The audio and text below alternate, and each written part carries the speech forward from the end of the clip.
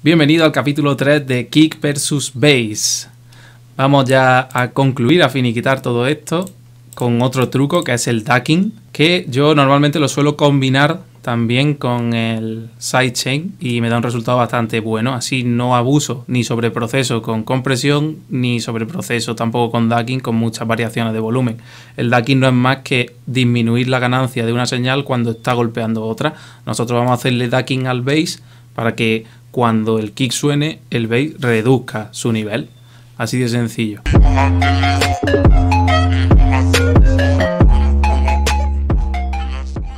Decirte también que yo realmente la cadena que uso para esto no es la de los plugins nativos, pero lo estamos haciendo con los plugins nativos para que veas que se puede hacer. Por lo tanto, voy a borrar aquí que tenía de prueba el, Pro C.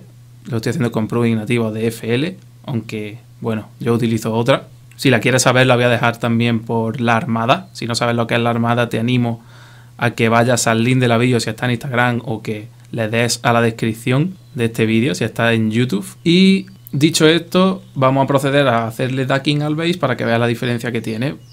Vamos a desactivar la compresión sidechain para que sea más notable y te den más cuenta. ¿Cómo se puede hacer este ducking? Pues se puede hacer de muchas maneras. Se puede hacer con plugin directamente, como podría ser el Gross Beat que aquí está. Simplemente teníamos que hacer lo siguiente, cargarlo en el base, como has visto. Reproducimos y aquí en el Groovy tenemos que darle a sidechain. Sidechain que tiene que estar por aquí, por aquí, por aquí, por aquí. Aquí. Como veis ha cambiado bastante. Ahora simplemente tendríamos que regular aquí cuando queremos que esté la entrada y la subida de volumen del base hasta tener algo agradable y algo coherente. Pero he de decirte que esta no es mi manera preferida porque realmente no estás controlando cuando golpea la onda y cuando no. Simplemente es un poco a ciegas, solo guiándote por la escucha. Y te puede causar de vez en cuando bombeos también por estas caídas tan drásticas, ¿vale? Pero ahí está la opción. Yo ahora te voy a enseñar otra opción, que es la opción de cargar otro plugin, que es el de Kickstart de Nicky Romero. Como verás ahora no es mi opción preferida tampoco, pero es bastante efectiva también. Simplemente tendríamos que reproducir, ver dónde está el golpe del bass.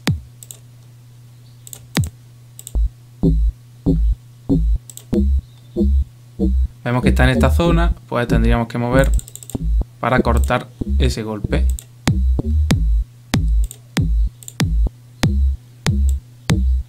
Como vemos así está súper exagerado, tendríamos que mezclar aquí un poco paralelamente para dejarlo pasar un poquito.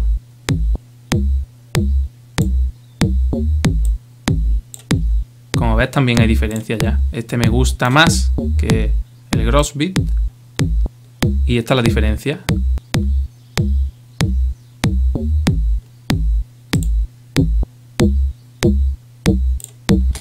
Bien, pero la manera que más me gusta tampoco a esta, aunque estas son las más rápidas, son las más cómodas, pero no se llega a controlar bien todo esto. La, manera que más me gusta es la manera manual, que va a ver cómo se hace ahora mismo, y consiste en crearle una automatización al bajo de la siguiente manera, haciendo doble clic aquí, aquí botón derecho y Create Automation Clip.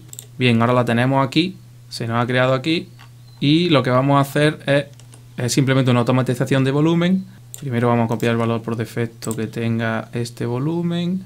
Y lo que vamos a hacer precisamente va a ser disminuirlo nosotros manualmente, ese volumen. Aquí golpea el kick, pues aquí no queremos volumen, nada del bajo. Vemos que aquí está la mayoría de la energía, pues esto es lo que realmente le vamos a quitar, porque aquí ya disminuye. Y que aquí ya vuelva a la normalidad. Escuchamos a ver cuál es el resultado.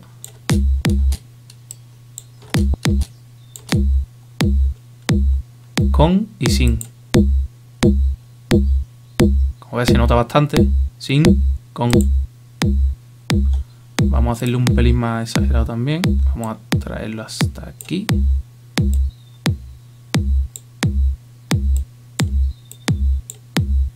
Ya vas jugando tú también con tu oído siempre. Yo quiero que tenga un poco de componente armónica ese bass. Por eso voy a darle aquí un poco más de curva. Pero como vemos en el golpe ya no molesta, en el transitorio del kick ya no molesta. Y ahora simplemente lo que habría que hacer sería cortar aquí, cortar aquí, borrar todo esto y duplicar.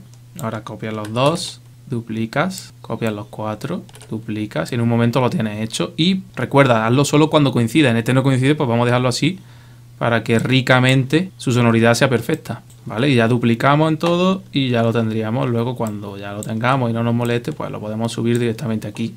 ¿Vale? Y ya te digo, lo, lo puedes ir regulando tanto en tiempo para la derecha como en nivel aquí haciendo la curva más alta o más baja.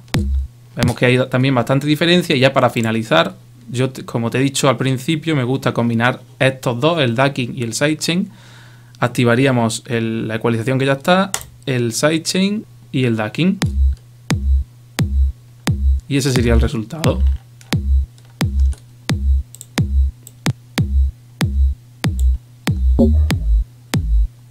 Ya podríamos ir aquí mezclando también.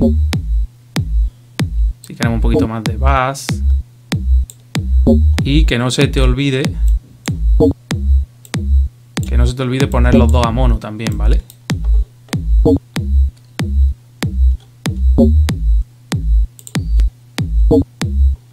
Vale, pues así tendríamos mezclado el kick y el bajo perfectamente. Espero que te haya gustado. Con esto terminamos esta serie, miniserie de kick versus bass. Y nada, nos vemos en la próxima serie, en el próximo vídeo. Si te ha gustado, darle apoyo. Si tienes dudas, comenta y las resolveremos lo antes posible. Muchísimas gracias y hasta pronto.